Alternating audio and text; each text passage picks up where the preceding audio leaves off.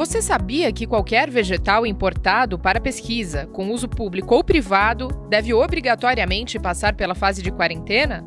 O quarentenário faz parte do Instituto Agronômico de Campinas, ligado à Secretaria de Agricultura e Abastecimento do Estado de São Paulo. Este é um dos dois quarentenários públicos do Brasil.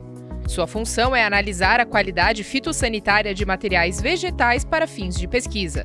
Esse período pode durar de 3 a 6 meses, dependendo da espécie vegetal. Três meses para culturas anuais, como hortaliças e grãos, e aproximadamente seis meses para as perenes, como café, cana e citros. As instituições interessadas em submeter materiais à análise entram em contato com o quarentenário do IAC, que pode aceitar ou recusar os materiais conforme o volume de atividades. O contato pode ser feito por e-mail ou telefone.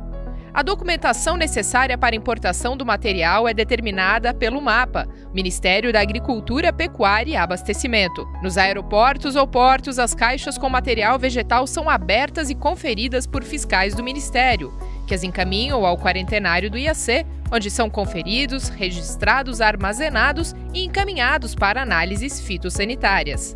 É no escritório do quarentenário que é feita toda a análise da documentação e o material introduzido no sistema.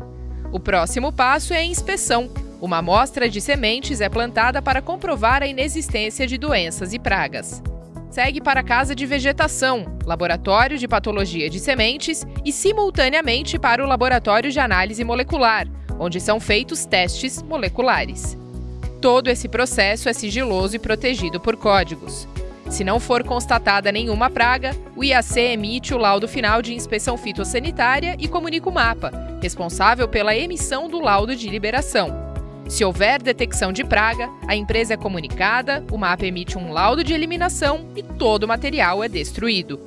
Apesar da preocupação com a entrada de pragas no Brasil, poucos materiais que chegam ao quarentenário apresentam problemas.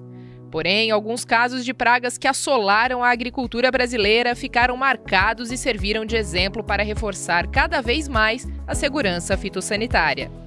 No final da década de 50, por exemplo, o cancro cítrico causou perdas consideráveis no estado de São Paulo. Desde então, o cuidado de instituições sérias com a entrada de possíveis doenças em território brasileiro foi redobrado. E o Estado de São Paulo segue todos os protocolos por meio do controle e análises feitas pelo IAC.